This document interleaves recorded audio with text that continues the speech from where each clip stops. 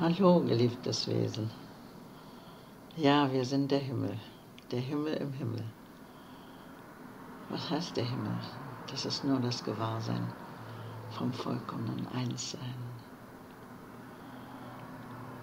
Ja, heute die Lektion 149.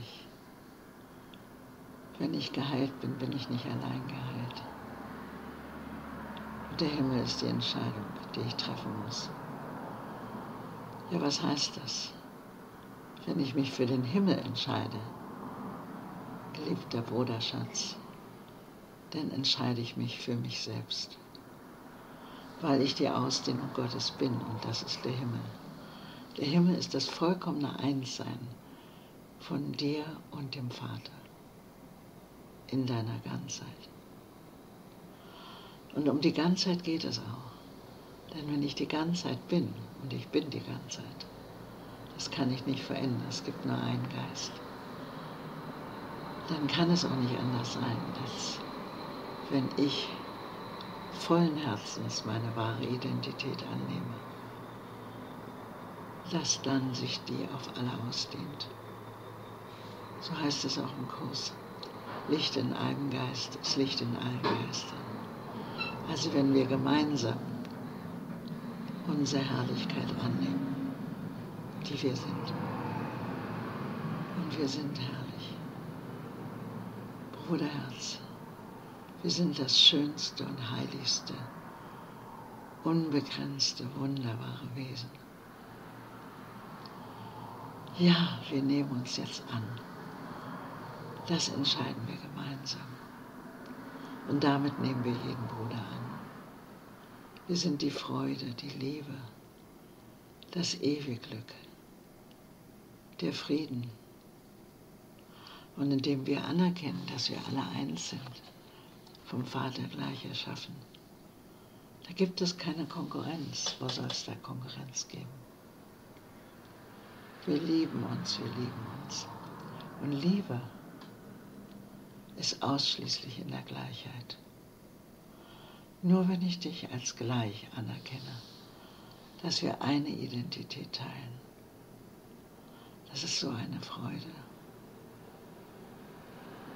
Tu das mal jetzt mit mir. Übersieh den Körper, schau dahinter zum Licht.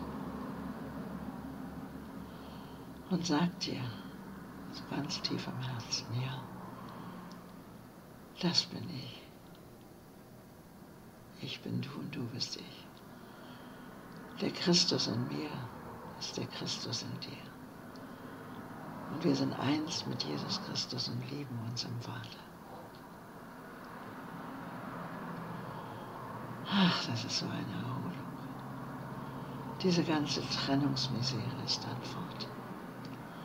So, steigen wir mal ein. ich gehe wieder in die, äh, in die Einleitung. Heute habe ich sie aufgerufen. Das ist so, wenn wir was wiederholen, dann fängt der, der Geist es langsam an zu, anzunehmen. Unser Geist ist ja so gewohnt, falsch zu denken. Und wir trainieren ihn, jetzt sich für die Wahrheit zu öffnen. Und darum wiederholen wir auch diese Lektion. Diesmal im Bewusstsein, dass wir uns auf den zweiten Teil des Lernens vorbereiten, wie die Wahrheit angewendet werden kann. Heute wollen wir beginnen, uns auf die Bereitschaft für das zu konzentrieren, was als nächstes folgen wird. Dies ist unser Ziel für diese Wiederholung und die darauf folgenden Lektionen. Daher wiederholen wir die kürzlich durchgenommenen Lektionen und ihre zentralen Gedanken in einer solchen Weise, dass die Bereitschaft gefördert wird von meinem Geist, die wir jetzt erlangen möchten. Und da gibt es das wunderbare zentrale Thema, das alles vereinheitlicht. Mein Geist wirkt nur, was ich mit Gott denke. Ich bin im Gott geblieben und du auch, geliebter Schatz. Wir sind immer noch im Vater zu Hause und erwachen zu dieser Tatsache. Das ist eine Tatsache und stellt die Wahrheit dessen dar, was du bist und was dein Vater ist. Wir teilen einen Geist. Mein Geist wirkt nur, was ich mit Gott denke. Und dieser Gedanke ist es, durch den der Vater den Sohn erschuf und ihn als Mitschöpfer neben sich selbst einsetzte. Du bist Schöpfer. Denn du, als ein ganzer heiliger Sohn, hast dich ausgedehnt zu deiner heiligen Schöpfung, die wir miteinander teilen, denn wir sind ja eins. Eben dieser Gedanke ist die volle Gewähr für die Erlösung des Sohnes, für deine Erlösung, für meine Erlösung. Denn in seinem Geist können keine Gedanken wohnen, außer denen, die sein Vater mit ihm teilt. Klar. Ich bin dein Sohn, Vater. Und mein Geist ist eins mit deinem. Und nur deine Gedanken sind die meinen. Das sind die Gedanken der Freude, der Liebe, des Friedens, des Glücks. Aber die mangelnde Vergebung sperrt diese Gedanken aus dem Bewusstsein aus. Und alles, was wir in dieser Welt gemacht haben, hindert uns, die Wahrheit anzunehmen. Das müssen wir klar verstehen. Die Welt, die wir gemacht haben, hat keine Ursache in Gott, in der Liebe. Sie ist das, der Ausschluss der Liebe. Und Krankheit, Leid und Tod scheinen hier zu sein, aber sie sind nicht wahr. Denn alles, was lebt, lebt in Gott und ausschließlich in Gott. In dieser Welt, der Körper, der Form, wo alles stirbt, gibt es kein Leben. Das, was stirbt, hat nie gelebt und das, was lebt, lebt ewig im Vater. Das ist die Wahrheit, zu der wir jetzt erwachen und alle erwecken, mit uns gemeinsam. Ja, das sind alles nur Abwehrmechanismen. Die ganze Welt, die wir sehen mit den Körperaugen, ist eine Abwehr gegen das, was wirklich ist. Dein Geist wirkt jedoch nur das, was du mit Gott denkst. Deine Selbsthirschung können nicht an den Platz der Wahrheit treten. Das ist so wunderbar. Du bist nach wie vor, wie Gott dich schuf. Du kannst deine Heiligkeit, deine Vollkommenheit nicht verlieren. Sie ist vom Vater garantiert. Wir sind eins im Vater geblieben. Das ist alles, was wir sein wollen. Und wir haben uns immer geliebt. Und wenn du das anerkennst und fühlst, dann ist das ganze Drama aufgehoben. Wo bleibt die Welt? Wenn wir anerkennen, dass wir immer nur Liebe waren und unsere wahren Schöpfung anerkennen, die uns immer geliebt haben und immer lieben und die wir immer lieben. So beginnen wir jeden Tag mit der Vorbereitung unseres Geistes, mit diesem herrlichen Gedanken. Mein Geist birgt nur, was wir mit Gott denken und was ich mit Gott denke. Und wir säubern unser Geist von allen anderen Gedanken. Und allein diese fünfminütige Vorbereitung mit diesen einen Gedanken reicht aus, den Tag in Bahnen zu lenken, des Friedens, der Freude, der Liebe, die Gott bestimmt hat. Und ihm, großgeschrieben, also dem Heiligen Geist, die Obhut über alle Gedanken zu geben, du die, die du an diesen Tagen empfangen wirst. Und das sind die Gedanken, die von jedem kommen, wenn ich ihn in der Wahrheit sehe. Ich empfange die Liebe des Vaters durch jeden Bruder, dem ich vergebe. Und er, der Heilige Geist, empfängt auch meine Liebe. So sind wir vereint im Vater im Glück und sind wieder erwacht in dem, was wir ewig sind. Ja, und nach der Vorbereitung lesen wir dann diese beiden Lektionsgedanken durch.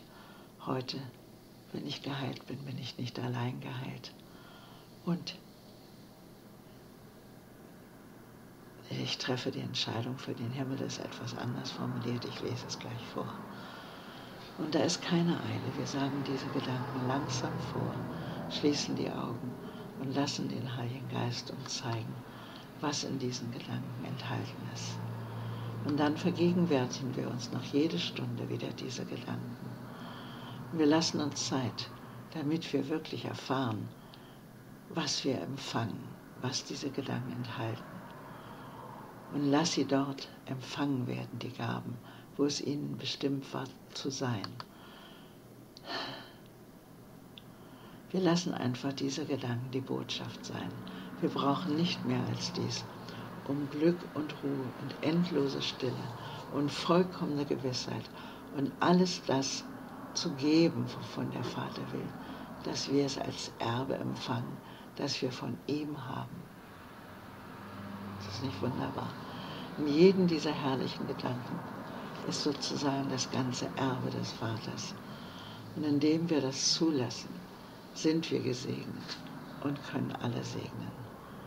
Wir schließen so, wie wir begonnen haben, indem wir zuerst den Gedanken wiederholen, der den Tag zu einer besonderen Zeit des Segens und des Glücks für uns gemacht hat, durch unsere Treue, die Welt von der Dunkelheit dem Licht zurückerstattet hat, vom Gram zur Freude, von Schmerz dem Frieden und von der Sünde der Heiligkeit. Ist das nicht wunderbar? Mein Geist birgt nur, was ich mit Gott denke. Die Freude, die Liebe, das Glück, die heiligen Gedanken Gottes, die ich mit jedem teile, bringen uns alle wieder zur Freude zurück. Und Gott sagt Dank, der du auf diese Weise übst, dein Wort zu halten. Und bevor wir schlafen gehen, wiederholen wir noch einmal, um jetzt wirklich herzlich äh, uns zu öffnen und mit Herz und Seele das anzunehmen, was der Vater uns geben will. Und er ist dankbar und seine Dankbarkeit umgibt dich dann mit jenem Frieden, in dem er will, dass du auf immer sein sollst, auf den du jetzt lernst, als dein Erbe wieder Anspruch zu erheben. Also wir sind der Frieden, wir sind die Freude, wir sind das Glück, wir sind vom Vater so erschaffen. Ach, ist das eine Freude, Bruder, mit dir eins zu sein und dich zu lieben, so wie du wirklich bist. Einfach nur Freude. Ja, und die Lektion noch einmal wiederhole ich sie. 149. Mein Geist birgt nur, was ich mit Gott denke. Wenn ich geheilt bin, bin ich nicht allein geheilt. Das ist die Lektion 137. Und 138. Der Himmel ist die Entscheidung, die ich treffen muss. Ich wiederhole. Mein Geist birgt nur, was ich mit Gott denke. Ja. Schon bin ich im Vater. Wenn ich geheilt bin, bin ich nicht allein geheilt. Ja, ich bin das Ganze. Und wenn ich geheilt bin, dann heile ich mich als Ganzes. Ich nehme meine Ganzheit an, meine Herrlichkeit, meine Vollkommenheit, ja wo im Vater. Und da bin ich eins mit dir. Da sind wir alle geheilt und vollkommen, so wie uns der Vater schuf. Ich bin nach wie vor, wie Gott mich schuf und du auch. Und das gilt für jeden. Also wenn ich die Heilung annehme, dann nehme ich sie für mich als Ganzes an. Dann muss die ganze Welt mit mir geheilt werden, weil ich die ganze Welt bin. Ich bin das Ganze. Ja, wunderbar. Wunderbar. Ich lese dir nochmal einen Text dafür vor. Durch die Ganzheit finde ich die Antwort des Lebens. Das Wunder des Lebens ist, dass das Ganze sich erinnert und das gesamte Leben in sich unterstützt. Die Teile dieser Systeme müssen sich nicht neu erstellen oder sich selbst reparieren. Nein, das Ganze erinnert und liebt. Um einen Teil deines Lebens zu erlösen, brauchst du nur das Ganze erinnern und ehren. Das Ganze wird dich erinnern und ehren. Das ist nicht aus dem Kurs, sondern aus einem Buch, wie nennt sich das? The Keys of Joshua. Joshua. Aber Jesus hat mich eben gebeten, das vorzulesen. Also ist es im Einklang mit dem Kurs, im vollen Einklang. Also ich bin das Ganze und in der Ganzheit liebe ich mich als Ganzes.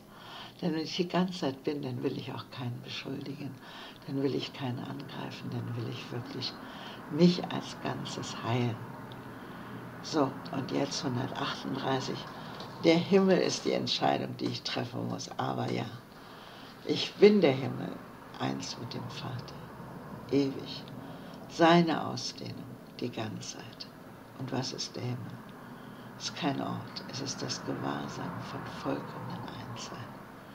In vollkommener Freude, ewig der Himmel zu sein. Es ist die Freude. Die Ganzheit ist die Freude. Und ohne die Ganzheit, Bruder, gibt es keine Freude. Nimm heute vollen Herzens mit mir die Ganzheit an. Du merkst schon, ich bin in voller Begeisterung. Und wenn wir die Ganzheit annehmen, die Liebe, die Freude, die wir sind, dann ist das Ego aufgelöst. Es hat es nie gegeben. Die Welt hat es nie gegeben. Gott ist. Und dann hören wir auf zu sprechen und wir sind in ihm. Das ist alles, was es gibt. Gott ist. Die Liebe ist die einzige Wirklichkeit und wir sind seine Ausdehnung, nichts als Liebe. Die Liebe ist immer nur Freude. Wir sind gesegnet als sein Sohn. Und jeden Moment, jeden Augenblick dehnt sich der Vater zu dir aus, als sein Sohn. Und damit ist die ganze Vergangenheit aufgehoben. Und die Angst ist aufgehoben. Denn Liebe kennt keine Angst. Es gibt nur zwei Gefühle, entweder Liebe und Freude oder Angst. Aber Angst haben wir gemacht, indem wir die Liebe annehmen, was wir heute tun. Heilen wir den Geist, befreien ihn von der Angst. Nehmen die Ganzheit an, den Himmel, der wir sind im Vater. Ich wünsche dir einen herrlichen Tag. Ich bin dankbar, dass du eins mit mir bist. Wir sind der Himmel im Himmel. Ich liebe dich.